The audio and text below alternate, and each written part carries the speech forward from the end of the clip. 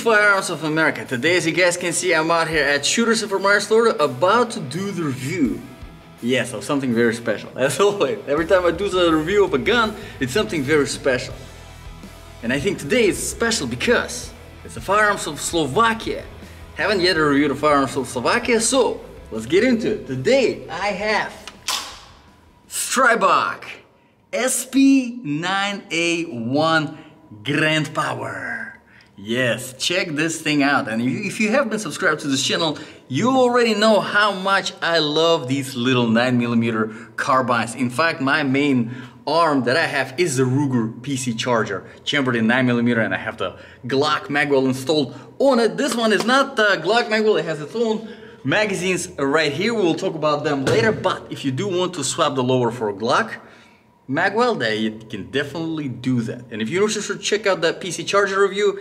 I have it posted. In fact, I have two. Make sure to check out the latest one, not the old one, because the old one is pretty terrible. Okay, so let's talk about this Stribog right here. Check this thing out. We got 8 inch barrel, plenty, plenty of barrel for to give you the maximum velocity for your 9mm round. With it's, it's threaded with your standard half inch by 28 threads or whatever. I wanted to say optic, but then I was like, that is definitely not optic. Suppressor, muzzle brake, whatever it is you want to put on on, the, on this uh, threaded barrel, it's, it's up to you. But let's start from the very beginning and uh, do some shooting. Yes, because obviously gotta make sure it shoots. And also, kind of really uh, am curious to see if this optic that is installed here, by the way, which is a Sig Sauer Romeo, as you can see, Romeo 5, and uh, it's uh, probably one of my favorite optics whenever it comes to budget, affordable optics, because I mean, if you if you ever been getting into the world of optics, that stuff can run pretty expensive. Yeah, so excuse me. What am I doing wrong here?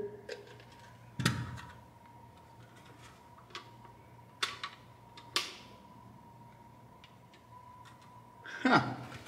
That's quite a tricky uh, magazine to load. So basically here, it's double stacked and because the uh, loading port itself is wide, you have to actually get it all the way to the well, depends on which side you look at, left, left, right, but all the way to the side to make sure the first round stays in there. And then the second round obviously goes to another side. A little bit uh, interesting and a little bit of a tricky thing to load, but no big deal.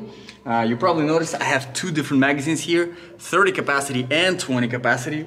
I'll try to shoot with uh, both of them, but see, we make uh, five rounds in our 20 capacity magazine. Again, because of this, not the easiest magazine to load, a little bit tricky, but it is what it is. It's not the loading that matters, it's shooting that matters. Well, the loading matters too. okay, so as you guys can see, freshly painted target. Uh, I'm gonna try to hit this yellow circle in the very middle. All right, five rounds. Not too shabby. Where's the record? Not too shabby. Okay. Alright, that is off. Let's turn it on. There we go. Okay. Let's hope it is zeroed well.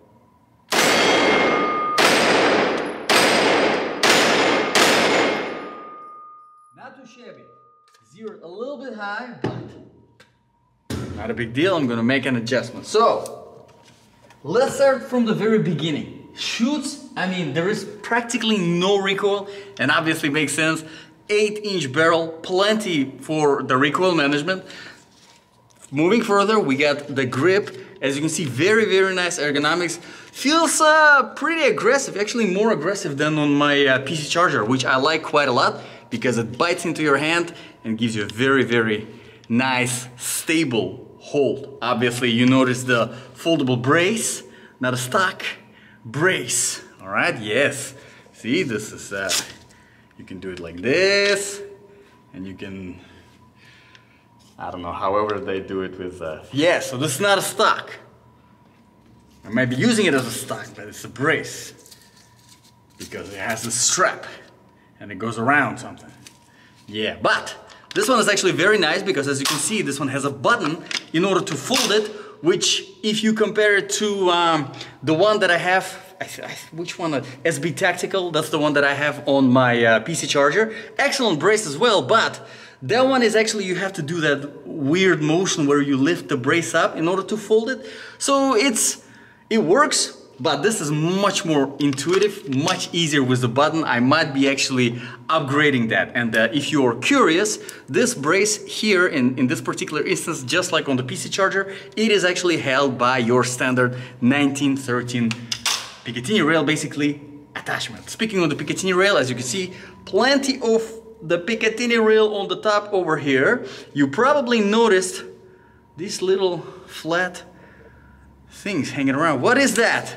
Check this out. Yes, unlike my PC charger, this carbine actually already comes with the flip up sights, which is absolutely fantastic. But we will talk about the sights later. Actually, I want to do some more shooting, but this time I want to try the 30 capacity magazine. Why I want to try it? Why does it make a sense to try it? Because I'm still gonna load five rounds? I don't know, but we'll still want to try to make sure it works because why not? And then after I'm done doing some more shooting, maybe next time I can do a little better group, we'll talk about some other features. Okay, so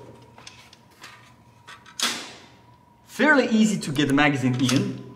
Uh, can you do quick swap of the magazine? Yeah, absolutely, except this might happen. And if you didn't notice what happened, the round just flew out. Now, normally you wouldn't do the swap of magazine unless it's empty, so you shouldn't worry about it. But keep in mind, because of such a wide entry point on this magazine, the rounds there hanging kind of, uh, let's just say, on a thread. Yeah. okay, so let's do the uh, orange on the top. This uh, orange right here. Yes. Okay. I love the racking mechanism on this. The lever is fantastic. Oh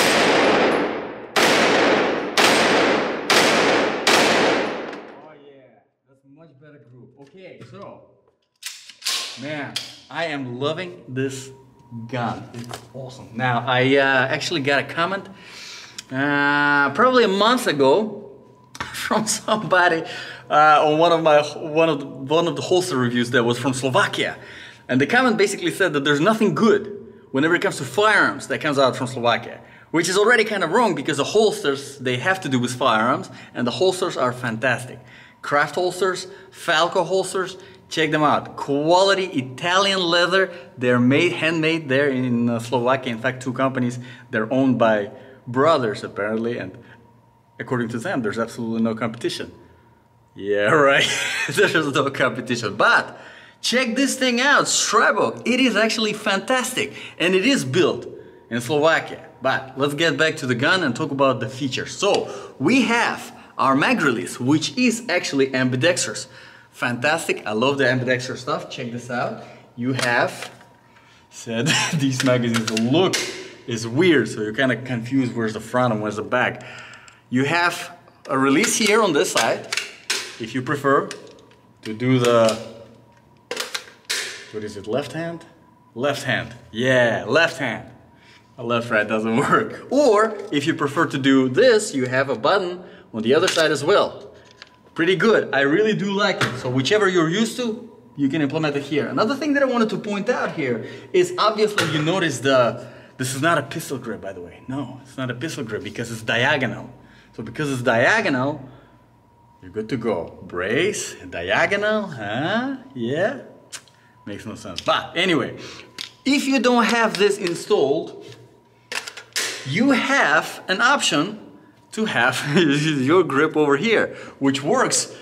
Honestly, it's a little bit old school of a grip because now the newer school is to get your arm further out down the barrel so you have a little bit more of the control which helps you if you're doing the CQB. Uh, it's a little bit of an older style, keeping it closer, but still you can do it and I think it's great just to have that, you know, why not? If you can use it, there you go, you can use it. Of course, you have your uh, M-LOK attachments on the sides, on both sides. Obviously on the bottom, that, that's how this thing is connected here. Picatinny rail on the top. So, I mean, because I think that's really, really great that they did it. Because there's already built-in um, flip-up sides, there is really no real estate that has been taken from the Picatinny rail to implement these flip-up sides. So now you can have, I mean, you can have a whole bunch of stuff. You can have a flashlight on one side for the M-LOK. You can have a magnifier for your red dot.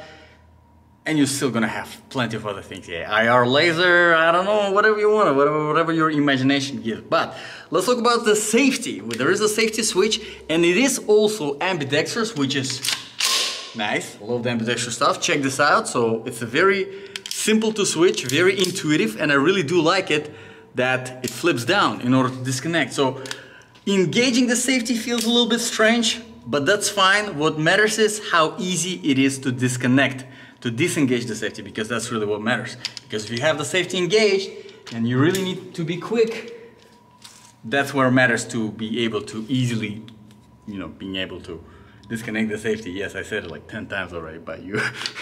Repetition is the mother of learning. There's a Russian saying, I think it's English saying too, but yeah, you get the point. Anyway, so let's do some more shooting. Less talking, more shooting. That's definitely not the case on this channel, let me tell you that. But while I'm loading this really strange magazine, honestly, if you're getting this thing, I love it. It's, it's great. I think I love olden 9mm carbines. It's just, it's just my thing. But if you are getting it, I highly recommend upgrading the lower. yeah, it's an upgrade, I think. Uh, to a Glock magwell so that you can use Glock magazines with this Stribog Grand Power. That's exactly how you have to say it, by the way. You, you can't say Stribog. You have to say Stribog. because it's from Slovakia. Anyway, I'm being uh, foolish. And usually I'm very serious, so yeah. But if you've never been on this channel, it's your first time, make sure to subscribe. Because, I mean, the videos suck, but the people who are subscribed to this channel are actually a great community. Trust me, just look through the comments. Well, this is a brand new video, so you might not get a lot of comments, but just look through the comments, man. The people are great. Okay, so. Yeah. I love the Racker, and I'm gonna talk about it in a little bit. So, let's destroy a few of the flappy pedals. Let's see if I can hit them.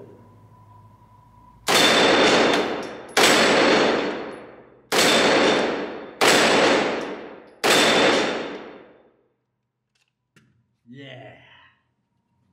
For once, I don't miss on any of those flappy pedals. Okay, so the Racker you got on this side, and you're probably wondering, well, hmm, since everything is ambidextrous on this gun, can I interchange the Racker? Yes, absolutely you can, but I, I highly don't recommend it. And the reason why is because if you do have the Racker sometimes, huh? So, I think, I think, I was talking about the Racker when somebody walked into the range, thank you for ruining that. Just kidding. You're always welcome to come to the range anytime you want. So, the Racker. Yes, I was telling why it's not a good idea to have the Racker on the other side. It's kind of like the one on the scar, you know, the scar bite, if you if you ever heard that expression. Basically, because you have your finger here, there is a chance that one day you just might grab it like this. Right behind the Racker. And obviously when you're firing, this thing cycles and goes back. So yeah, unless you want to be smashed by the rocker over here, you probably don't want the rocker on this side, unless you're left-handed. But it's still good to have the one that is switchable, because if you are left-handed, everything is ambidextrous. You switch the rocker on the other side, and there you go, good to go. So, before I do, I think I already have four. I know I have four, I'll put five. But before I get into my last firing session, let's talk about the trigger and also the sights. We kind of, kind of mentioned the sights, but I didn't show you. So let's start with the trigger. Actually, the trigger is very, very nice. I do like it quite a lot. As you can see, it is rounded, which, I mean, some people prefer flat, some people prefer rounded. I prefer rounded. Wait, what were we talking about? We were talking about the trigger. I actually prefer flat whenever it comes to triggers. Well, only whenever it comes to triggers, though. Check this out. So we have about... What the... Yeah, so you have this weird whatever, don't pay attention to that, pretend like it's not there. And then you have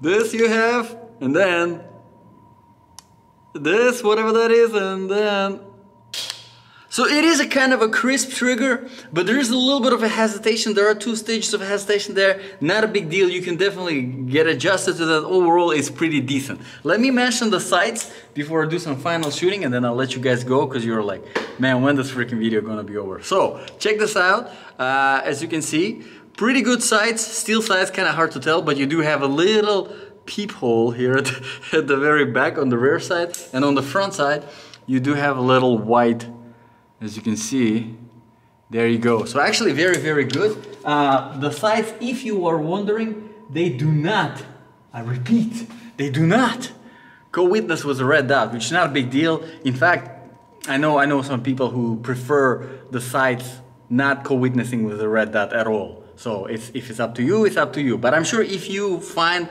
lower sitting red dot that sits like closer um, to the Picatinny rail, kind of like the ones they put on the handguns, and they do have the handgun um, red dots that are mm, mountable on the Picatinny rail. It might actually work with the flip-up sights, and it actually might co-witness. But let's do some five more rounds onto the flippy pedals, and then I'll let you guys go. If, I repeat, if, if you're not aware if you have not been subscribed to this channel, this is the first video you're watching, you're probably thinking like, this is freaking terrible. It's okay, I understand, I, I don't argue with that. But there's actually awesome giveaway that is happening right now. It's uh, for uh, Taran Tactical. Yes, AR9 from Taran Tactical. Check it out, actually, it's uh, I've done a review uh, probably like a, a week ago. The video is uploaded. It's called John Wick's Next Gun or something like that. Yeah, check it out. The link for the giveaway is right there. So, we got our uh, four rounds, five rounds into this. Honestly, I love this gun. I would say my only complaint is, is the magazines. The magazines are a little bit awkward. I don't like the fact that there is a chance for you that your round flies out whenever you're loading it. I like it to be very straightforward, very easy, so that you don't really need to concentrate and be like, mm, okay. it has to be easy, it has to be fast because you know if you're in a tactical situation and you do need to load the magazine and text obviously you can imagine how stressful it can be and you don't want to mess around with that stuff. Anyway let's uh uh-huh. Let's do some flippy pedals because why not?